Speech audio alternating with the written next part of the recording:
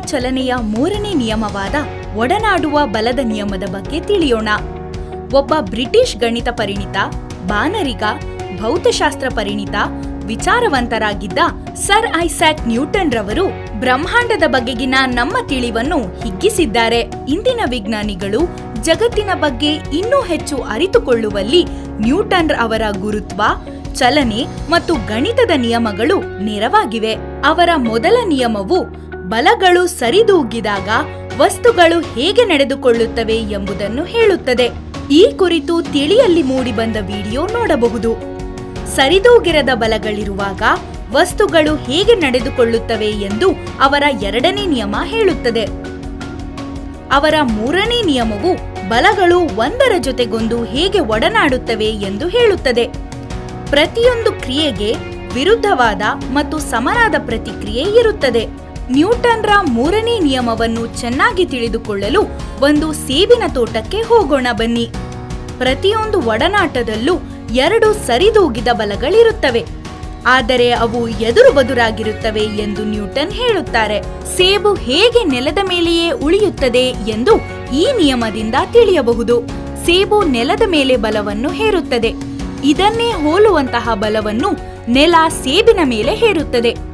ಸೇಬಿನ ಬಲ ಕೆಳಕ್ಕೆ ಒತ್ತಿದರೆ ನೆಲ ಕೂಡ ಸರಿಸಮವಾದ ಬಲವನ್ನು ಮೇಲಕ್ಕೆ ಒತ್ತುತ್ತದೆ. ಈ ಎರಡೂ ಬಲಗಳು ಯಾವಾಗಲೂ ಸರಿದೂಗಿರುತ್ತವೆ ಹಾಗೂ ಒಂದಕ್ಕೊಂದು ಎದುರು ಬದುರಾಗಿರುತ್ತವೆ ಅಂದರೆ ಮೊದಲ ವಸ್ತು ಎರಡನೇ ವಸ್ತುವನ್ನು ತಳ್ಳಿದರೆ ಆಗ ಎರಡನೇ ವಸ್ತು ಅಷ್ಟೇ ಬಲದಿಂದ ಮೊದಲ ವಸ್ತುವನ್ನು ತಳ್ಳುತ್ತದೆ.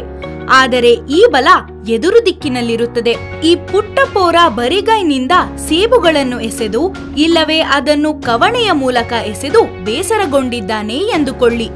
ಈಗ ಅವನು ಸೇಬನ್ನು ರಾಕೆಟ್ಗೆ ಕಟ್ಟಿ ಎಸೆಯಲು ಮುಂದಾಗಿದ್ದಾನೆ. ರಾಕೆಟ್ ನೆಲದ ಮೇಲೆಯೇ ಇರುವಾಗ ನೆಲದ ಕಡೆ ರಾಕೆಟ್ ಹೇರುವ ಬಲವನ್ನು ಮೇಲಕ್ಕೆ ಹೇರಲ್ಪಡುವ ನೆಲದ ಬಲವು ಸರಿದೂಗಿಸುತ್ತದೆ. ಆದರೆ ರಾಕೆಟ್ನ ಇಂಜಿನ್ ಅನ್ನು ಉರಿಸಿದಾಗ ಅದು ಹೊಗೆಯನ್ನು ಹೊರಗೆ ನೆಲದ ಕಡೆಗೆ ಬಿಡುತ್ತದೆ. ಈ ಹೊಗೆಯು ಎದುರು ದಿಕ್ಕಿನಲ್ಲಿ ರಾಕೆಟ್ ಮೇಲೆ ಬಲವನ್ನು ಹೇರುತ್ತದೆ. ಇದರಿಂದಾಗಿ ರಾಕೆಟ್ ಮೇಲೇರಿ ಹೊರಬಾನಿಗೆ ಹಾರುತ್ತದೆ. ಒಮ್ಮೆ ಇಂಜಿನ್ ತನ್ನ ಶಕ್ತಿಯನ್ನು ಕಳೆದುಕೊಂಡರೆ ರಾಕೆಟ್ನ ನೂಕುಬಲ ಎಂದರೆ ಥ್ರಸ್ಟ್ ಗುರುತ್ವದ ಬಲಕ್ಕಿಂತ ಕಡಿಮೆಯಾಗುತ್ತದೆ. ರಾಕೆಟ್ ನೆಲಕ್ಕೆ ಬಂದು ಬೀಳುತ್ತದೆ.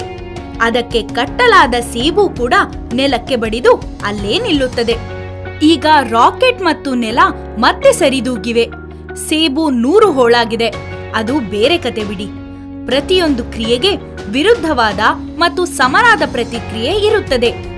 ನ್ಯೂಟನ್ ಅವರ ಚಲನೆಯ ಮೂರನೇ ನಿಯಮವಾದ ಒಡನಾಡುವ ಬಲದ ನಿಯಮದ ಬಗ್ಗೆ ಚುಟುಕಾಗಿ ತಿಳಿದುಕೊಂಡೆವಲ್ಲವೇ? ಇಂತಹ ಅರಿಮೆಯ ಇನ್ನಷ್ಟು ಕೌತುಕಗಳನ್ನು ತಿಳಿಯಲು ನಮ್ಮ ತಿಳಿ ಚಾನೆಲ್ಗೆ ಸಬ್ಸ್ಕ್ರೈಬ್ ಆಗಿ.